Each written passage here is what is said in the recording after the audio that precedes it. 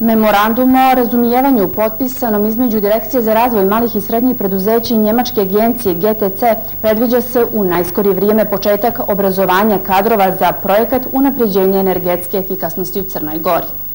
Predviđeno je da kadrovi u regionalnim biznis centrima Cetinje, Nikšić, Berane i Kolašin kroz obuku steknu osnovna znanja o mjerama energetske efikasnosti i o načinima finansiranja dostupnim malim i srednjim preduzećima.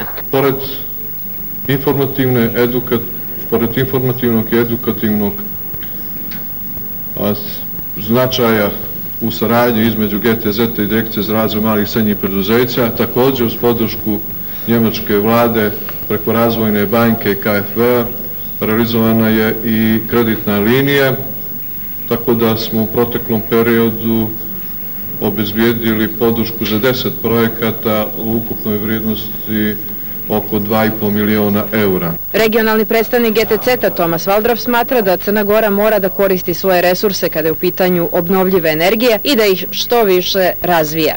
Ako se usmjerimo prema budućnosti, pored turizma i sekundarnih industrija, e, Crna Gora uglavnom ima samo e, ovaj, e, ekologiju i ovo obnovljivu energiju i to mora jače da se razvija.